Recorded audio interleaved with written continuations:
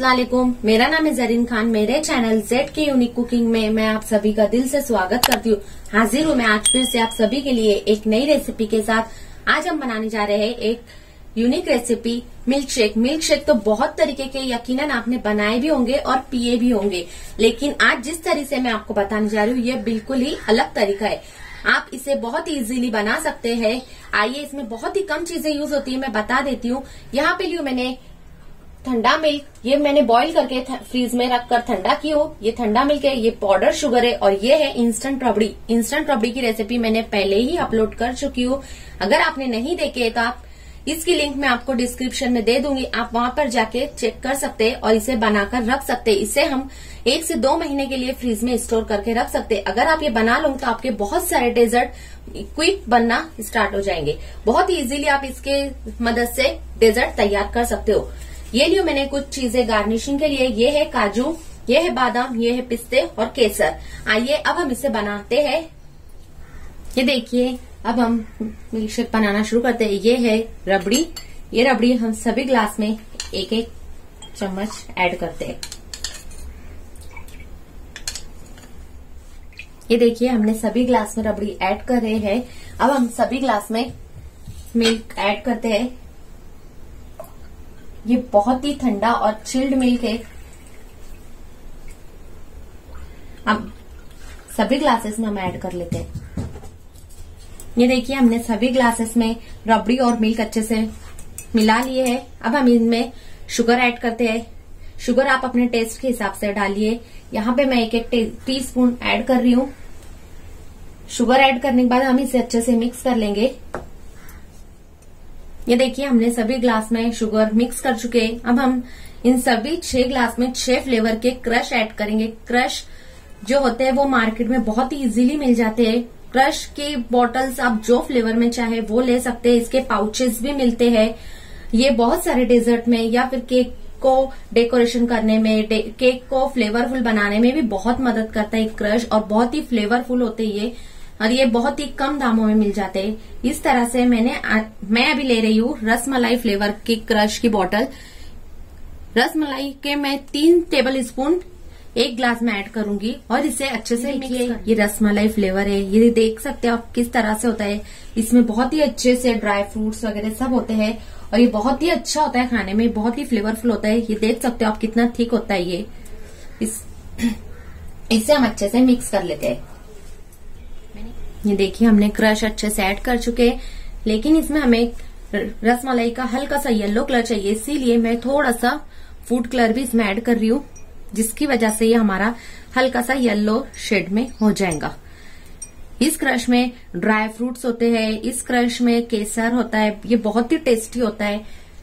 ये देखिए। ये देखिए ये लियो मैंने स्ट्रॉबेरी क्रश ये अभी इससे मैं दूसरे मिल्क वाले ग्लास में ऐड करती हूँ। ये भी मैं तीन टेबल स्पून ऐड करूँगी। ये देख सकते हो ये कैसा होता है। अगर आपके पास ये सब ना हो क्रश और आपको मिल्क शेक बनाना हो तो आप रबड़ी के साथ भी बना सकते हैं और इसमें फ्रूट ऐड कर सकते हैं। जो भी सीजनल फ्रूट होंगे, आप वो भी ऐड कर सकते हैं। ये देख सकते हो आप स्ट्रॉबेरी फ्लेवर का कितना अच्छा कलर आया है। इसमें स्ट्रॉबेरी के फ्रूट के हल्के हल्के से पीसेस होते हैं। ये बहुत ही अच्छा लगता है खाने में। आइए, अब हम इसमें दूसरा क्रश ऐड करते हैं। ये है ब्लैक करंट। अभी हम ब्लैक करंट का फ्लेवर ऐड करते हैं। ये देख सकते हो आप, ये ब्लैक करंट का है। ये बहुत ही अच्छा होता है खाने में। इसके भी मैं तीन टेबल स्पून भर के ऐड करूँगी। ये सभी क्रश मार्केट में बहुत ही इजीली मिल जाते हैं। ये बहुत ही फ्लेवरफुल होते हैं। आप इसे एक बार ले लोगे ना तो आपके बहुत सारे डेजर्ट बनाने में आपको इजी हो जाएगा।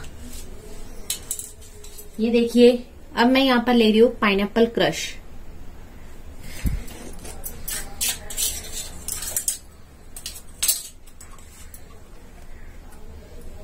ये भी मैं तीन टेबल स्पून डालूँगी। ये देख सकते हो आप पाइन क्रश भी कितना ठीक होता है। इसे भी हम अच्छे से मिक्स कर लेंगे। आप चाहे तो और भी डाल सकते हैं।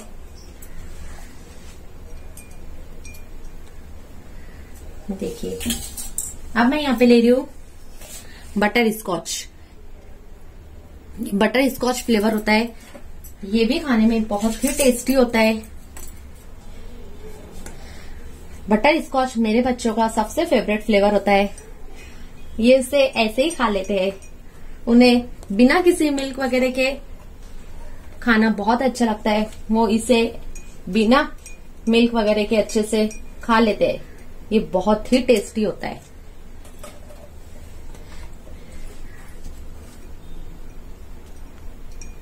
ये भी मैंने तीन टेबल स्पून ऐड की हूँ।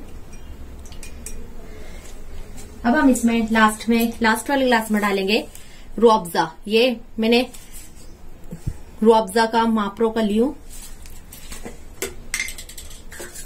ये भी बहुत ठीक होता है। आप इसकी जगह चाहे तो रुअब्जा का सिरप भी ले सकते हैं। हम लोग ये वाला पसंद करते हैं, इसीलिए मैं ये वाला डाल रही हूँ। इसे भी मैं तीन से चार टेबल स्पून ऐड करूँगी। ये देखिए, हमारे सभी फ्लेवर के मिल्क शेक तैयार हो चुके हैं। अब हम इसे गार्निश करके आपको दिखाते हैं। ये देखिए, हमने सभी जूस को मिल्क शेक को अच्छे से गार्निश कर चुके हैं और ये बहुत ही फ्लेवरफुल है। आप इस रेसिपी को एक बार ज़रूर ट्राई कीजिए। मुझे कमेंट कीजिए। अगर आपको ये रेसिपी अच्छी लगती है तो प्लीज़ लाइक कीजिए। आप मेरे चैनल पे नए हैं तो सब्सक्राइब करना ना भूलिए। साथ ही बेल आइकॉन के बटन को दबाइए और ऑल पर क्लिक कीजिए, ताकि मेरी आने वाली सभी रेसिपी आपको फ्री में और सबसे पहले देखने मिले। चलती हूँ, तब तक के लिए आप अपना और अपनी फैमिली का ख्याल रखिए। मुझे दुआ में ज़रूर याद रखिए। और बहुत जल्द मिलूँगी आपसे इसी तरह से न्यू न्यू रेसिपी के साथ। अल्लाह हाफिज।